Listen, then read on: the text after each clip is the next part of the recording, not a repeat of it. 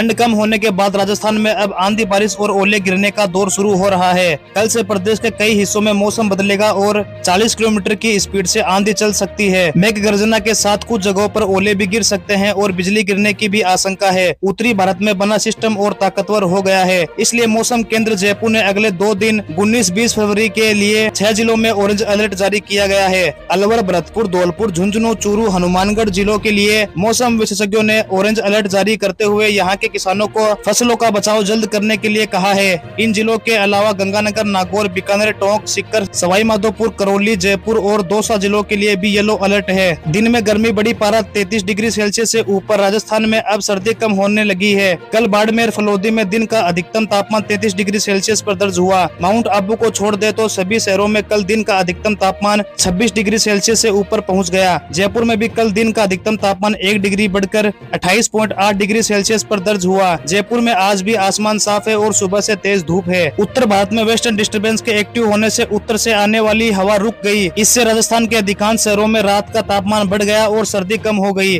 गंगानगर, चूरू, बीकानेर, बाड़मेर, करौली, फतेहपुर, सिरोही, बारा, धौलपुर, चित्तौड़गढ़, कोटा, सीकर, पिलानी, जयपुर, अलवर और अजमेर में न्यूनतम तापमान एक से लेकर तीन डिग्री सेल्सियस तक बढ़ोतरी दर्ज हुई। आज सबसे ज़्यादा सर्दी अलवर में रही, जहाँ का न्यूनतम तापमान सात डिग्री सेल्सियस दर्ज हुआ।